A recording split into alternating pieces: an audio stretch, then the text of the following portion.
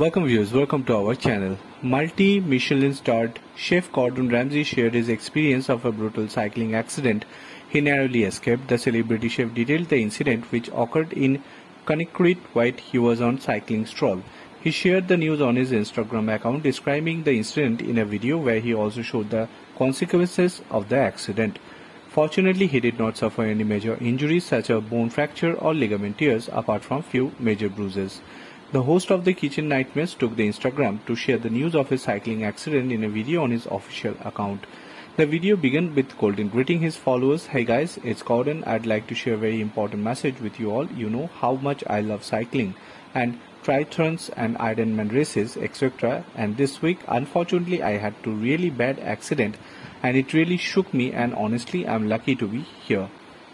Talking about his treatment, the 57 year old chef started that he is treated in the Lawrence Plus Memorial Hospital in the New London, Connecticut. He emphasized that importance of the wearing a helmet and urged people you have got to wear helmets. I don't care how short the journey is, I don't care. These helmets cost money but they are crucial. Even with a kid's short journey, they have got to wear a helmet. He said the helmet played a crucial role in the saving in his life during the accident.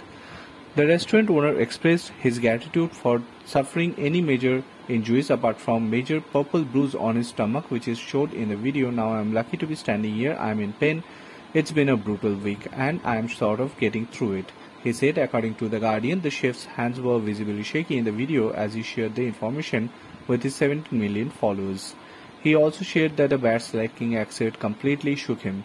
He reassured his fans of his health as he captioned the video doing okay and did not break any bones or suffer any major injuries. But I am a bit bruised up looking like a purple potato. Bureau Report.